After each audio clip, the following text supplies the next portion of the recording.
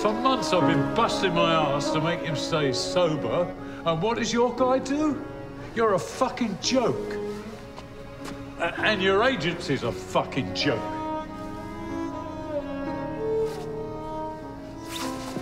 Fuck! So listen, we're gonna go out. All and, uh, right, uh, enough of this shit.